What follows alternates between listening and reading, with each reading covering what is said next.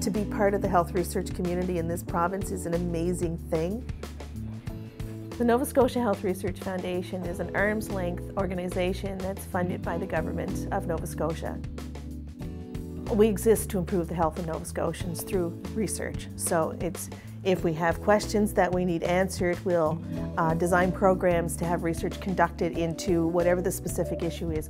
Or if we have challenges in the province and we know research exists elsewhere, it's our job to put that research together in a, a specific way that makes sense to people who have to make decisions.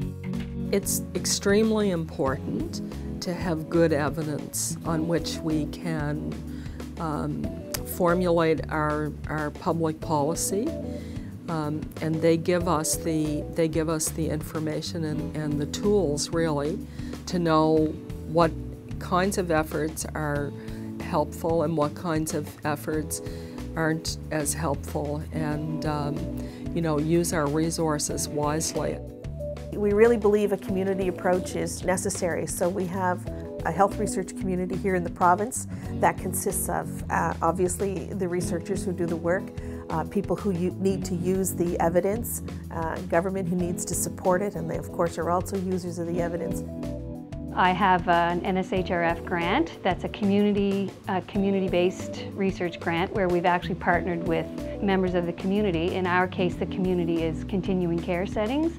So we've partnered with three long-term care settings in the eastern shore of Nova Scotia where we're looking at oral care and mouth care within the continuing care setting. One of the ways that we know that our research is having an impact is by involving end users in the formulation of research questions, but also in the research itself. So for example, one of our projects in continuing care, by involving the end user, the, the, the, actual caregiver, we get instant feedback from them as we roll out research ideas. They, they tell us directly whether or not these ideas are going to work for them. A lot of what we've been doing has been creating awareness about the importance of oral health to general health and creating an awareness amongst people off on the street as well as, as high-level policymakers in government.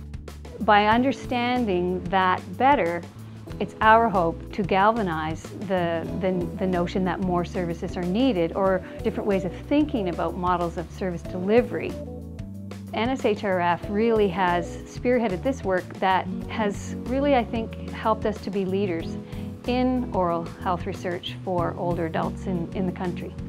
Without that initial investment in us, I really don't know how we would have gotten off the ground. We really are sort of the poster child. We followed all the steps that they wanted us to follow, that they anticipated we needed to do to be able to get national funding. And, you know, now we're, uh, you know, nationally recognized as one of the leaders in seniors oral health care research.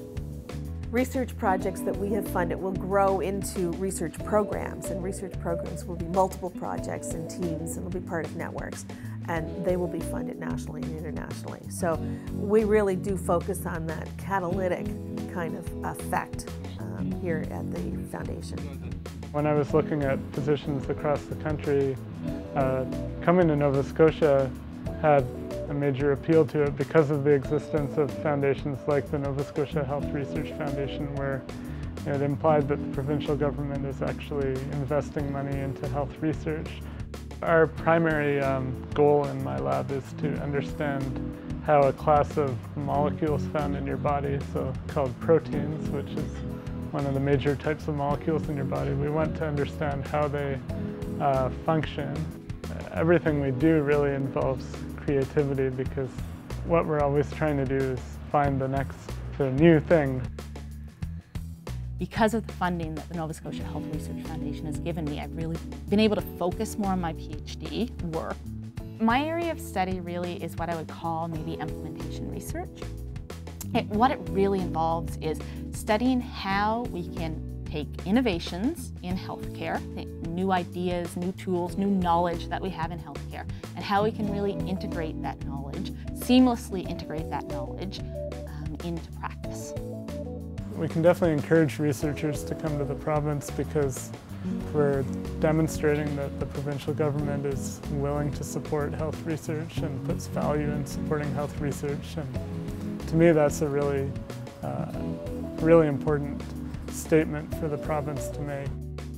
I think the average Nova Scotian, uh, they benefit by having a very healthy and vibrant health research community because we know that uh, high quality clinicians are attracted to a research rich environment. So um, they're directly going to get uh, better care just simply by having that, that, that active research community, uh, access to the latest and greatest.